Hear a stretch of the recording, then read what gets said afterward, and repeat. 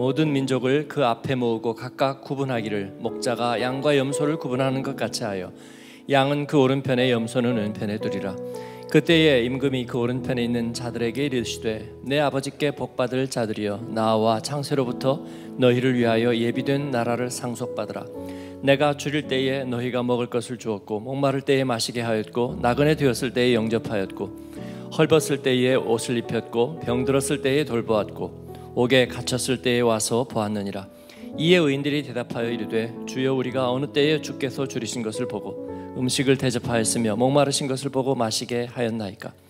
어느 때에 나그네 되신 것을 보고 영접하였으며 헐벗으신 것을 보고 옷 입혔나이까? 어느 때에 병 드신 것이나 옥에 갇히신 것을 보고 가서 배웠나이까 하리니?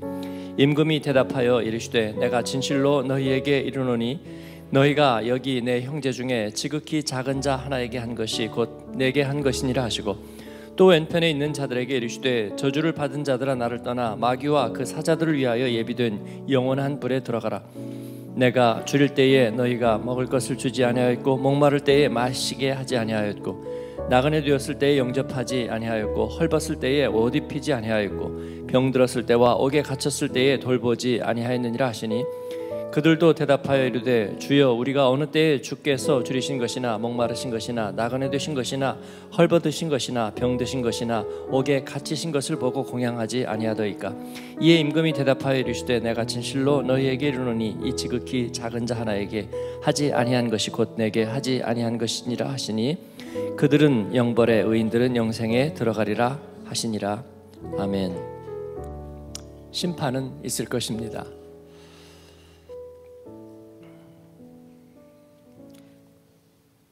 신약 성경을 읽고 묵상하는 성도에게 또 신약 성경을 복음서를 설교하는 목회자에게 가진 중요한 책무 중에 하나는 예수님의 심판이 있을 거라고 하는 것입니다. 어, 복음의 은혜를 알고 네, 젊었을 때에는 하나님의 은혜가 커서 예, 복음을 가지고 있고 또 예수님을 마음에 두고 있는 사람에게는 예, 주님의 영을 그 안에 간직하고 있는 사람에게는 심판은 없을 것이다. 심판이 있다고 해도 어, 검색대 지나갈 때 외교관들은 한쪽으로 승무원들도 한쪽으로 예, 요식행위처럼 지나가는 예, 그들이 테러리스트가 아니니까 예, 그들이 마약 밀수자가 아니니까 그들이 범죄자가 아니니까 그들은 패스트 트랙으로 어, 아니면 특별하게 특권화된 곳으로 가게 되지 않을까. 검색을 한다고 해도 그것은 요식행위이지 않을까. 하나님의 은혜 안에 있는 사람에게는 심판을 두려워할 필요가 없다. 예, 그 말씀은 예, 틀린 말은 아니죠. 주님의 은혜 안에 있으면 우리가 심판을 두려워할 이유는 없다고 보는데 예, 그 생각이 점점 점점 우리를 안일하게 만들면서 어, 심판은 없는 거야. 그냥 예수님의 비유 중에 나타나는 거야 라고 생각을 예, 그러나 세월이 지나고 이제 예수님의 말씀과 구원의 완성, 구원의 역사가 어떻게 완성되어야 하는지를 보면서 우리의 인생이 어떻게 완성되어야 하는지를 보면서 예수님이 말씀하신 심판은 분명히 있는 거다.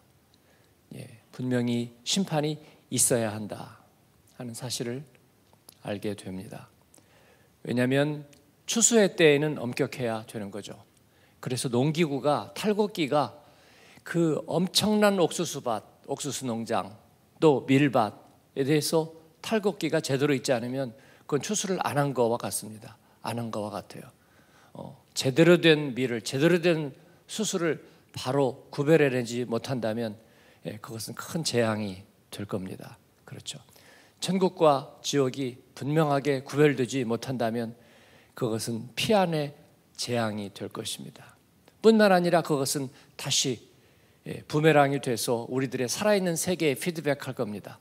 그래서 복음을 위하여 살고 하나님 앞에 구별된 삶을 산 사람들에게 치명적인 위해를 가할 것이고 그리고 우리가 가진 영성과 도덕성 그리고 하나님 나라의 시민됨과 주님의 나라를 사모하는 모든 것이 전부 다 굉장히 값싸고 헛된 것이 될 겁니다.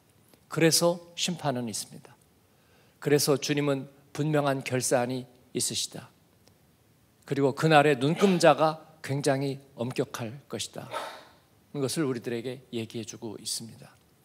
그날이 가까움을 볼수록 우리는 분명히 그렇게 느끼게 됩니다. 예. 허투루 해서는 안 된다. 어수룩하게 해서는 안 된다. 그냥 퉁치고 지나가서는 안 된다. 그러면 추수는 없는 것과 같습니다. 이는 윤리적인 기준이 아닙니다. 정직하고 도덕적으로 산 사람에게 보상이 있어야 된다. 그런 거 아닙니다. 예, 우리의 공로로 우리는 구원받지 않았고 우리의 의로 하나님 나라를 이루지 않습니다. 주님의 전적인 은혜로 되는 것입니다. 그러나 주님께서 분명하게 의의 기준을 가지고 주님께서 마지막 날에 다시 한번 걸러내고 그리고 분명하게 심판할 것입니다. 주님 앞에 심판의 시간에 서게 되는 것을 또한 준비하는 저와 여러분이 되기를 바랍니다. 각 개인에게, 주의 교회에게, 그리고 주님의 이름으로 우리가 이 세상에서 모두가 부름받은 모든 사역에 심판이 있을 것입니다. 개인의 영성과 도덕성에 대해서도 주님 앞에서의 심판이 있을 거라고 생각합니다. 예, 표창장 몇 개를 가지고 예, 교회에서 내가 목회 사역에서 선교 사역에서 수고한 몇 가지 예, 이력서를 가지고 주님 앞에 모든 것들을 다 인정받으려고 하는 것은 예, 예수님께서 이미 얘기하신 것처럼 바다 건너가서 복음을 전하고 주여 주여 하고 선지자로 타고 할지라도 내가 그날에 너를 도무지 모른다 하리라 불법을 행하는 자들아 내게서 떠나가라 그렇게 말씀하시겠다 하셨습니다. 왜냐하면 우리 주님은 중심을 보시기 때문입니다. 마음의 중심과 마음의 중심에서 주님을 향한 분명함이 없다면 그러면 벌써 볼멘 소리를 할지 모릅니다. 차라리 그러면 안 믿다가 아, 주님 앞에 심판받는 게 나을 뻔 알았네요. 예, 벌써 비틀어진 마음이 있잖아요. 예, 그 비틀어진 마음이 주님 앞에 인정받기는 어려울 거예요. 그래서 여러분 우리가 주님 앞에 서는 날까지 비뚤어진 마음을 가져서는 안 되겠습니다. 내가 예수 믿고 주의 이름으로 한 개월 만데 내가 세상 낙도 누리지 못하고 그래서 주말이면 늘 교회에서 매여 있었는데 내가 왜 이런 대접 받아야 하죠? 라는 생각은 비뚤어진 마음입니다. 예. 우리는 늘 울어도 눈물로는 갚을 줄 몰라서 이 몸밖에 없어서 이 몸 드립니다 했던 우리 선배 신앙인들의 찬송을 예, 기억해야 하고 예, 그때는 전쟁통이고 그때는 예, 노예 생활하던 시절이고 그때는 먹을 것도 피죽도 없었던 시절이고 그래서 주님 앞에 감사했던 거고 오늘은 다르지 않습니까? 라고 얘기한다면 틀렸습니다. 하나님 앞에 중심을 드려야 하고 주님을 왕으로 우리들의 삶의 주인으로 오고 오는 세상의 주인으로 우리가 섬기고 대우해야 될 줄로 믿습니다. 그럴 때 우리에게 복이 있고 또 주님의 심판을 두려워하지 않게 될 것입니다. 양과 염소의 심판에 대해서 우리는 비유라고 말합니다. 그런데 틀렸습니다. 양과 염소라는 예, 그 대상을 얘기한 것은 비유이지만 이 심판은 비유가 아닙니다. 그렇기 때문에 예, 오늘 우리가 이 심판에 대해서 얘기하고 예, 그 다음에 주일 때 헐벗을 때 옥에 갇히셨을 때 병 드셨을 때 얘기는 예, 다음에 하겠습니다. 왜냐하면 그렇지 않으면 오늘 얘기가 너무 또 어, 길어지기 때문입니다. 예수님께서 다시 오실 때에 아, 달라질 것은 무엇이냐면 주님이 처음 오실 때는 모든 영광을 다 버리고 오셨습니다. 그런데 두 번째 오실 때는 예, 예수님이 영광을 다 버리고 오셨기 때문에 예수님은 겸손하고 가난한 자의 편이고 그 다음에 보잘것없는 자의 편이고라는 사람들의 생각은 틀렸습니다. 예, 마지막 때에 그 생각이 전부 다 아, 배신당할 겁니다. 왜냐하면 마지막 날에 예수님은 어마어마한 영광으로 오실 것이기 때문입니다. 예, 우리가 감히 바라볼 수도 없는 영광으로 주님께서는 다시 오실 것이다. 그랬습니다. 예, 우리가 생각하는 겸손과 영광은 우리에게 기준이 있지 않습니다. 하나님께 기준이 있습니다. 우리 주님께서 다시 오실 때에는 찬란한 하늘의 영광으로 오실 것입니다. 또 심판 때의 그리스도의 영광은 더욱더 두려운 영광이 될 것입니다. 이 여러 문화권에서 재판을 할 때에 판사들은 법복을 입죠. 특정한 법을 입습니다. 예. 또 어, 법정에 있는 어떤 누구와도 구별하기 위해서 이 비교 불가의 예, 화려한 예, 법복을 입기도 합니다. 예. 보라색, 진홍색 그리고 비단으로 된 옷을 판사가 입기도 하는 거죠. 그래서 항상 이 그 재판정 안에 있는 사람들은 그에게 존경을 나타냅니다. 아, 그래서 어, 말 끝마다 어, 존경하는 재판장님 음, 오여애한 예, 그런 최고의 예, 수식을 거기다가 어, 붙이는 것입니다. 예, 관료제의 예, 악습과 같은 것은 아닌 거죠.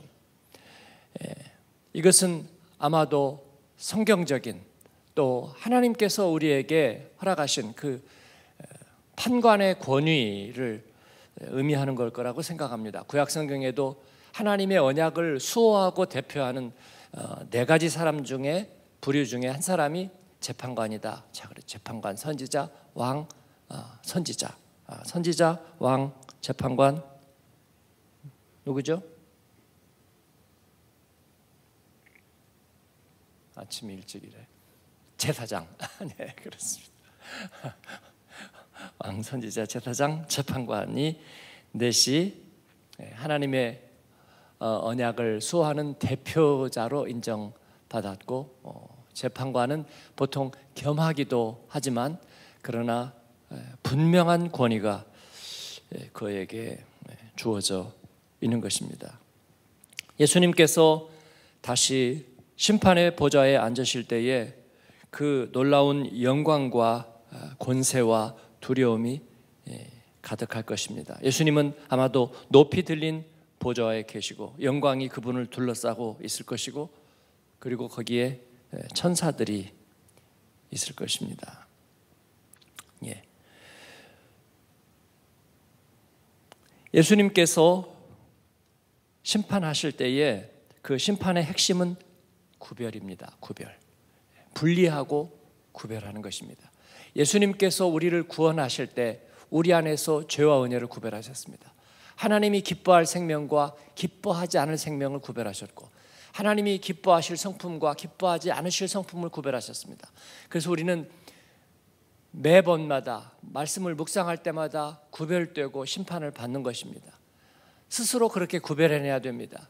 예, 죄의 법을 섬기던 자리에서 의의 법을 섬기는 자리로 가야 합니다. 하나님을 기뻐하지 않는 성품 우리 안에 분명하게 있습니다. 예, 그것을 나의 기질이라는 이름으로 정당화해서 그냥 같이 같이 안고 가면 분명히 그게 걸림돌이 되고 하나님의 일을 어렵게 하는 일이 됩니다. 예, 로마서 14장은 식물로 주의 일을 주의 사업을 망하게 하지 말라고 바울 사도는 그렇게 권면하고 있습니다. 예, 그들이 다 그리스도인이 되었기 때문에 모든 것이 다 좋은 것이 좋은 것이 될 수 없다는 그 안에서 분명하게 구별.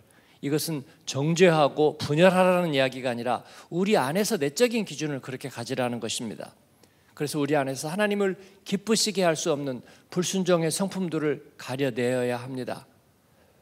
예, 그렇지 않다면 주님이 우리 안에서 기쁘게 머무실 수 없을 뿐만 아니라 우리는 주님을 닮아가는 자리에 설 수가 없습니다. 그 안에서 우리는 네, 죄의 종로를 타는 일들을 계속 하게 되는 것이에요. 그래서 주님께서는 우리 안에서 어, 분리하시겠다고 하십니다. 이 왜 분리하시는가? 여기에 근거가 있습니다. 첫 번째는 하나님의 마음 안에 이미 영원 전부터 예정하신 것이기 때문에 그렇습니다. 예, 오늘 말씀에 보면 예수님께서는 예,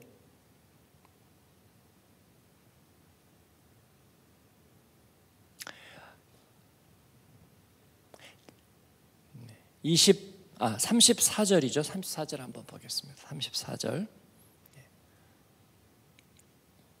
34절이 보이잖아요. 네, 34절.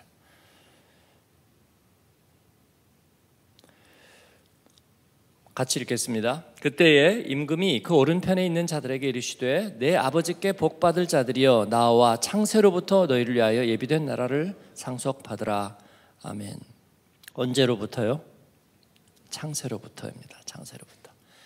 예, 창세로부터라는 말은 하나님이 세상을 창조하실 때, 그러니까 그 이전부터 하나님께서는 이 몫을 떼어 놓으셨다 하는 것이죠. 창세 전부터 하신 일이 또 있습니다. 에베소서 1장 4절 5절에 보면 예, 하나님께서 창세 전에 예,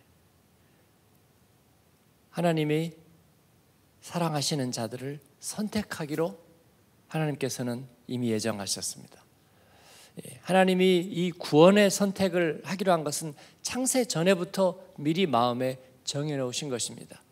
그리고 이 양과 염소를 구별하고 또 그들에게 이 진정한 하나님의 성품을 하나님의 기업을 주시기로 또 그렇지 않은 것들은 영영 형벌에 영원한 불에 던지기로 작정하신 것은 하나님의 마음 안에 영원 전부터 예정된 것이라 그런 것입니다.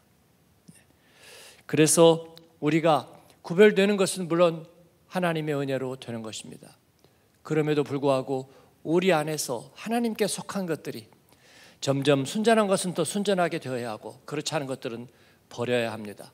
우리가 거기에다가 자꾸 정당화를 시키고 우리 안에 기질과 내 성품이라고 여겨서 내가 그것을 아깝고 긍휼하게 여기면 예, 주님 앞에 우리가 함께 묶여져서 불태워지지 않을까 두려워해야 합니다. 두 번째, 왜 주님은 나누시는가? 이제 주의 양된 성도들, 하나님의 자녀들, 또 그들에 대한 하나님의 축복이 따로 있기 때문에 그렇습니다. 왜냐하면 베드로가 우리 모든 그리스도인을 대신해서 주는 그리스도이십니다. 살아계신 하나님의 아들이십니다. 라고 고백할 때 예수님은 그냥 어 맞았어 그렇게 얘기하지 않고 크게 축복하셨습니다. 요한의 아들 시몬아 내가 복이 있구나. 이를 내게 알게 한 것은 사람이 아니다 하늘에 계신 내 아버지께서 이를 나타내셨다, 알게 하셨다. 예. 그리스도의 얼굴에 나타난 하나님의 영광을 아는 빛을 하나님께서는 직접 우리에게 나타내셨다. 그런 것입니다. 그래서 이 고백이 있는 이 참된 하나님을 알고 순종하고 그의 계명을 따르는 이들에 대한 하나님의 축복이 있는 것입니다. 그래서 분리하는 것입니다. 예, 그러나 이 순종과 하나님의 말씀과 계명을 온전히 지키는 것에 대해서 하나님께서는 분명하게 기준을 가지고 좌표를 가지고 보실 것입니다. 그래서 우리가 그 기준을 마음대로 임의대로 자꾸 구획을 정하고 임의대로 해서는 안 되겠습니다. 주님이 기뻐하시는가 말씀하시는가 거기에 대하여 온전한 순정이 주님 앞에 드려져야 될 줄로 믿습니다. 예, 물이 비등점이 되기 전에는 물은 끓지 않는다 말씀드렸습니다. 예, 우리는 그냥 거기에 도달하려고 노력하고 있다가 아니라 순종하고 아멘하고 그리고 그 편에 서서 시작하는 것입니다. 그래서 주님의 편에 서서 그 가운데를 채워가야 되지. 채우려고 하는 것조차도 나는 노력하고 있을 뿐입니다. 라고 얘기한다면 경계선이 없어지는 거예요. 무슨 말 하는지 여러분이 각자가 다 아실 거예요. 그렇습니다. 주님 앞에 바른 그리스도인으로 사는 것, 그 기준이 무엇인지 여러분 분명히 알고 있습니다. 그런데 그 기준에 나는 반드시 설 겁니다. 그런데 다 채워지지 않았어요. 그래서 채워갈 겁니다라고 얘기하는 것하고 그 기준에 도달하기 위해서 노력할 겁니다라는 것은 벌써 출발점부터 다른 거예요. 그렇지 않아요? 출발점부터 다른 거예요.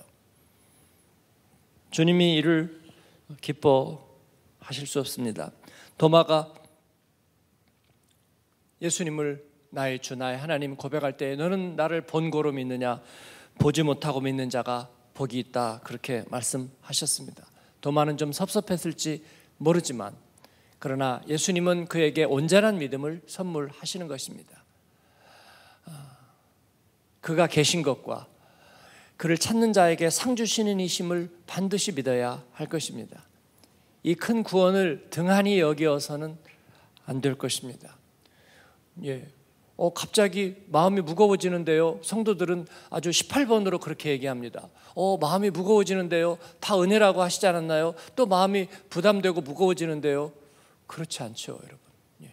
순금을 주고 순금이니까 보관법이 까다롭고 잘 보관하세요라고 얘기하는 것이 부담이 되고 멍해가 된다면 그 사람은 순금을 누릴 자격이 없는 거죠. 뭐 적절한 비유인지는 모르겠어요. 순금이. 예. 그러나 아, 그렇습니다. 하나님께서 우리에게 큰 구원을 주셨습니다. 그리고 전적인 은혜를 주셨습니다. 예. 그러나 이를 간직하고 누리기 위해서는 예, 우리에게 주의가 필요하죠. 또 성품이 필요하죠. 그러한 어, 분명한 긍정성이 필요하죠. 성령의 기름 부음을 받아서 우리가 이를 관리할 수 있는 그런 매뉴얼이 필요하죠. 그러나 이 모든 것이 특권이고 은혜입니다. 예, 이를 버거워하고 또 여기에서 우리가 순도를 낮춰버리면 하나님의 선물 자체가 사라져버리는 그런 일이 생기기 때문입니다. 그래서 하나님이 주신 하나님의 축복과 은혜에 대하여 저희가 기쁨으로 받는 저와 여러분 되기를 바랍니다. 예수님께서 심판 날에 이 양과 염소를 분리하는 어, 세 번째 이유 중에 하나는 우리가 주님을 믿었고 또 주님을 신뢰하고 따랐으며 그리고 그렇게 되므로 죄와 죽음과 영원한 사망에서 돌이켰기 때문입니다. 그렇기 때문에 그들을 향해서 우리 주님은 구별된 나라, 구별된 영역, 구별된 기업을 허락하셔야 되었습니다. 그래서 그냥 같이 얼버무려 놓을 수 없습니다. 행복한 지옥, 예, 영적인 세계에는 그런 것은 없습니다. 따분한 천국 그런 것은 없습니다. 목사님하고 장로님 있으니까 아 분위기 여기 싸하네. 네. 네. 그런 곳은 없습니다. 네. 저는 그런 농담 제일 싫어합니다. 그럴 거면 우리가 예수 안 믿었으면 될 것 아니에요. 네. 그래서 차라리 조금 예, 나이롱인 사람들하고 있을 때 분위기가 편하다. 기준이 엄격해서 싫다. 예. 물론 직분이 뭐 기준이 엄격해지는 것은 물론 아닙니다만은 예. 어떻게 홀리홀리하게 세상 사느냐 아, 같이 어울려서 사는 거지. 예.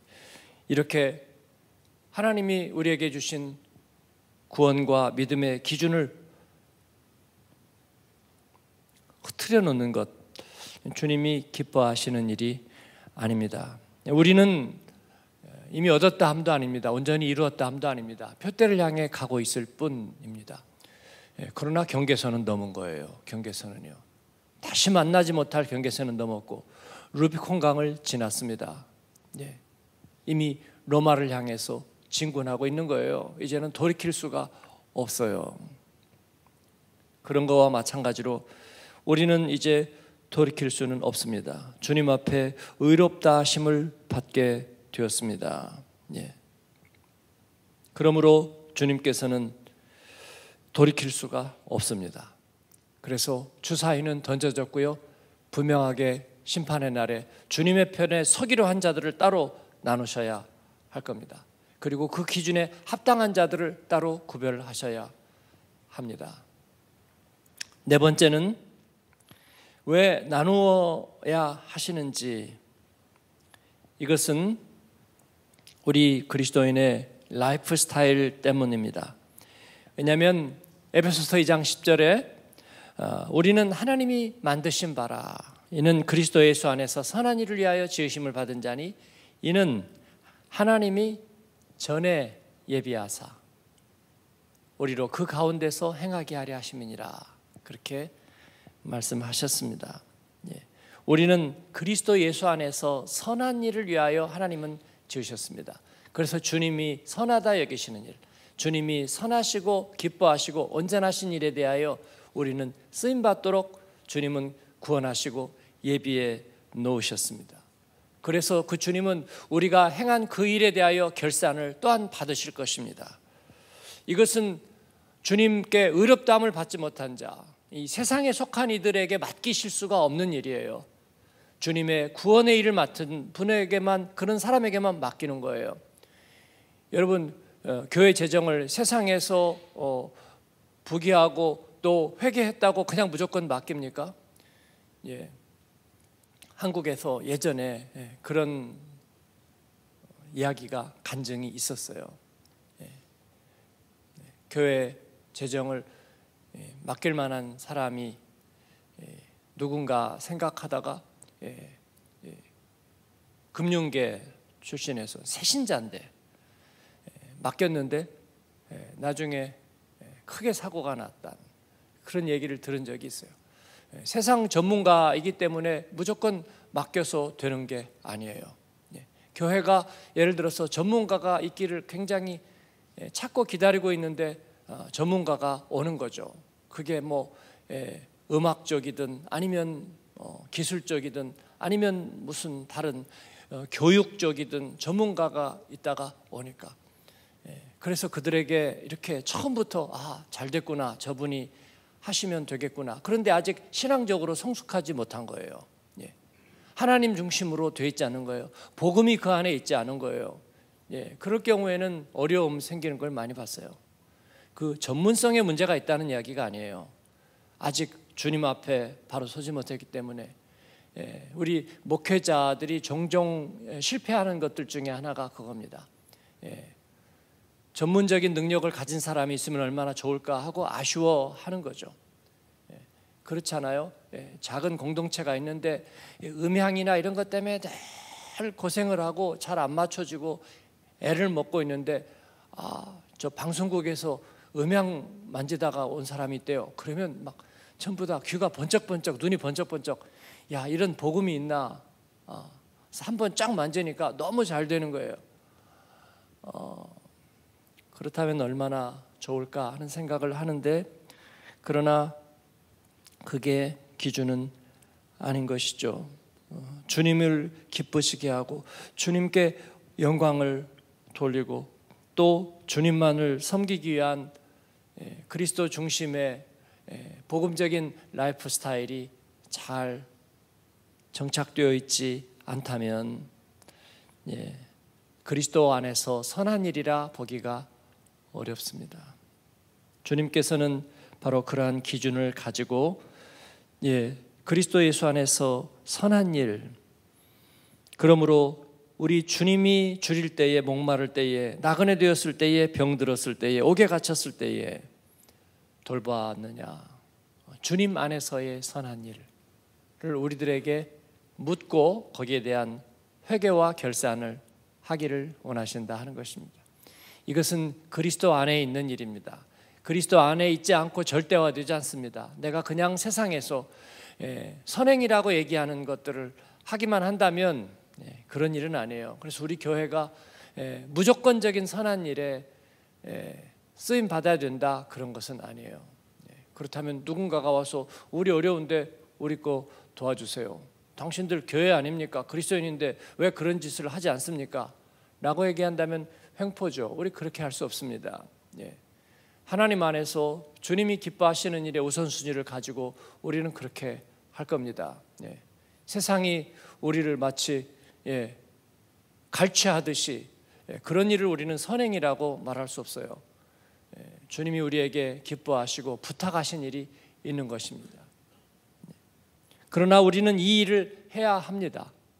주님이 기뻐하시는 일을 찾아서 우리는 선한 삶의 방식을 계속해서 유지해야 합니다. 왜냐하면 주님께서 결산하시기 때문입니다. 예. 너는 무엇을 하였느냐라고 주님은 물어보실 거예요. 그래서 제가 어, 양육반을 하면서도 자꾸 말씀드려요. 일주일 삶을 지나면서 우리는 많은 돈을 지출합니다. 예. 생활비로도 이런 일로도 저런 일로도. 예. 그래서 그 가운데서 우리가 주일에 헌금하는 걸 빼고 예. 주님의 이름으로 주님의 이름으로 지출하는 것이 있는가를 살펴봐야 합니다. 그렇게 많은 부분에 크고 작은 일에 돈을 많이 지출하면서 주님의 이름으로 지출하는 것이 나도 모르게 지나고 보니까 없다. 예. 그렇다면 우리가 주님과 상관이 있는지 돌아봐야 되는 거예요. 이게 손과 발과 지갑으로 주님을 섬기고 살아가는 예. 분명히 돌아본다면 그래야 될 일들이 있을 거라고 분명히 생각해요. 예. 우리 교회 성도들은 이 일에 많이 열려 있고 그리고 굉장히 지각이 발달되어 있는 사람들이죠. 네. 그래서 주님의 이름으로 섬길 일들이 많아지는 거죠. 예, 우리가 아, 양육반을 마칠 때나 또 어떨 때나 꽃다발들이 많이 가는 예, 우리가 이 꽃이 얼마나 낭비인가 예, 꽃집 파는 분이 설, 실망할 얘기이기도 하지만 그러나 이를 떠나서 얼마나 낭비인가 왜 이런 낭비를 해야 되나? 글쎄요 글쎄요 글쎄요 글쎄요. 예. 결혼식 때는 왜 그렇게 많은 일을 하는 거죠 여러분 왜 그런 웨딩홀을 왜 빌리는 거죠? 왜 그런 꽃들을 다 준비하는 거죠? 왜 온 가족이 옷을 맞춰 입는 거죠? 왜 그렇게 비행기를 해가지고 가족들을 다 부르는 거죠? 왜 그런가요? 예, 거기에 대해서도 우리가 다 얘기하나요? 예, 회사나 직장에서 개업을 하거나 무슨 일을 하거나 식을 할 때는 왜 그렇게 많은 돈을 들이는 거죠? 왜 그렇게? 왜 그 많은 장식을 하는 거죠? 왜 그렇게 사람을 부르는 거죠? 예, 여러분 그 모든 것들은 다 효율성과 관련이 있는 것입니다. 그런데 우리가 어느 순간에 주님의 일에 굉장히 인색한 기준을 갖고 있는 거예요. 예. 물론 사치와 낭비와 허례와 허식 그리고 진정한 것을 우리가 구별해야 합니다. 그러나 우리는 그 가운데의 의미를 분명히 알아야 될 거라고 생각해요. 예. 그래서 저는 한 번도 예, 꽃을 과하게 해야 됩니다. 그런 말 한 적이 없습니다. 물론 성도들은 하다가 좀 피곤해지면 예, 목회자를 이렇게 내세우기를 좋아하지만 목사님이 시켰대. 오케이 그래도 됩니다. 제가 거기에 대한 책임을 가지고 있으니까. 그러나 엄밀하게 말해서 저는 그렇게 얘기한 적이 없어요. 예. 네, 우리가 성도들이 성도의 일에 대해서 주님에 대해서 마음이 우러나는 거죠.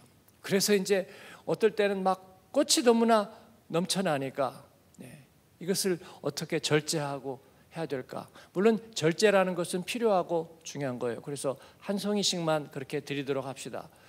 꽃다발이 또 성도들이 이번에는 임직을 60명을 했는데 꽃을 몇 송이나 해야 되는 거예요? 60송이를 해야 되는 거예요.